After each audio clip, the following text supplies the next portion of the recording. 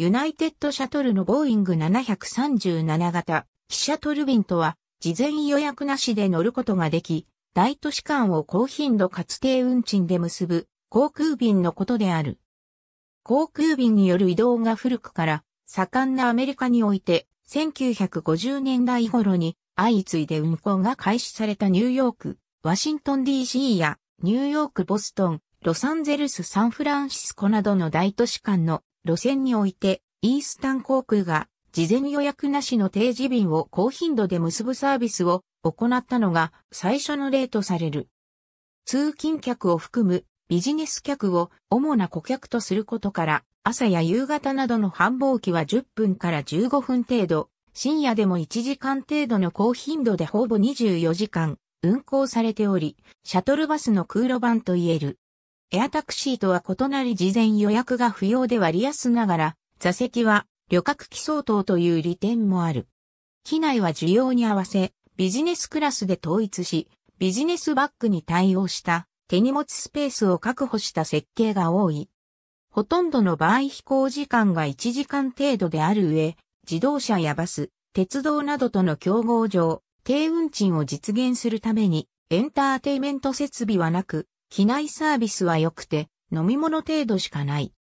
通勤目的の乗客がメインである。ため同一路線なら運賃で選択される傾向にあり、トランプシャトルでは差別化のため豪華な内装の機体や専用ゲートでのサービスを行っていたが、パンアメリカン航空の競合便やメトロライナーなどに比べ高い運賃が不評であったため、客足が伸びず赤字が続いた。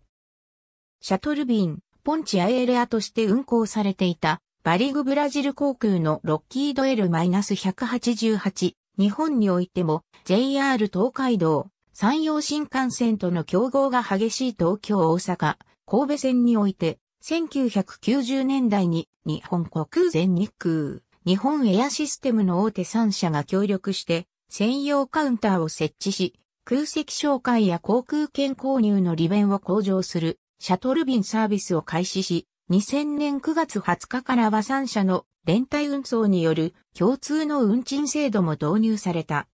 JAL による JAS の吸収合併に伴い、ANA との2社間での競争が激しくなったことから、現在は強調したサービスを広げることには消極的になっている。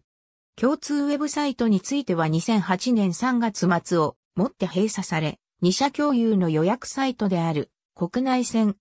.com に一本化された。また、2017年10月28日をもって、運賃体系としてのシャトル便の設定が終了した。なお、羽田伊丹間については一部時間帯を除き両社の便が交互に30分間隔となるダイヤを継続している。ありがとうございます。